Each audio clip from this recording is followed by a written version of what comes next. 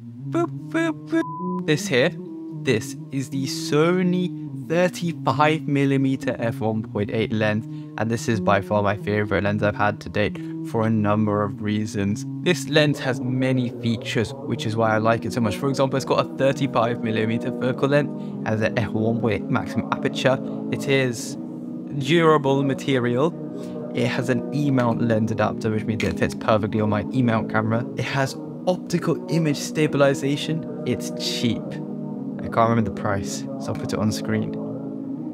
So, 35 millimeters. Why do I prefer this 35 millimeter lens over, say, a 50 millimeter lens? Well, there is a basically main reason, and that is a term APS-C crop.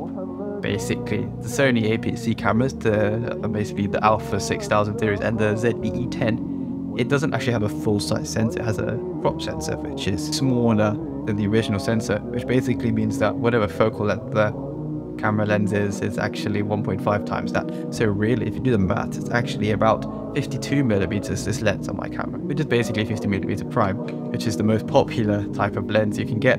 Um, and so I found this this focal length to be really the sweet spot for me. It's like the most versatile thing I could get. I can just use this lens for almost anything. I use it for photography, I use it for videography. I almost never use any of my other lenses now.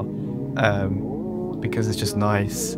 I, I, I also love I can just slap this on a gimbal uh, and it, all the shots I get from it just look absolutely insane.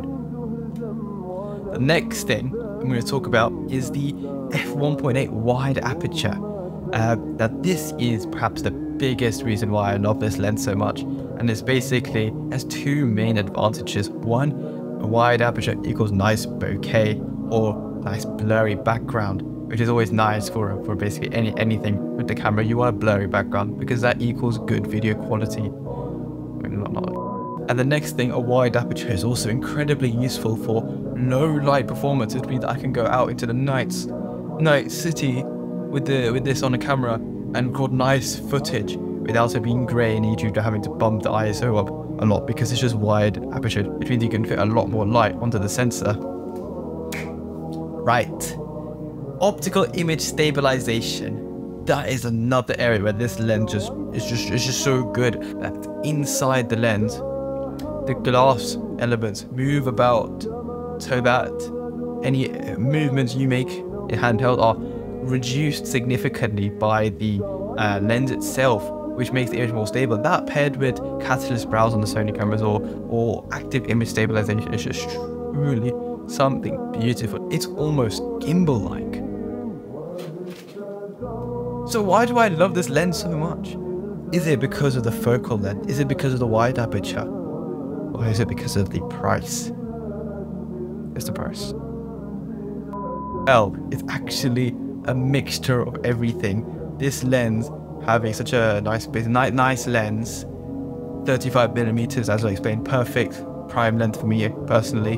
f1.8, perfect aperture. Maybe we could go wider with the Sigma 30 millimeters, but that's an alternative a more expensive alternative, and that is where this one, because my favorite lens, it's cheap, really cheap, and it's small. Like like this is a really small lens.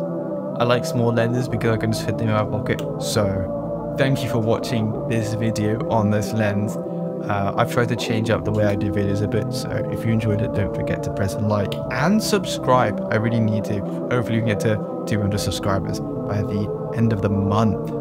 And I'll see you guys in the next one.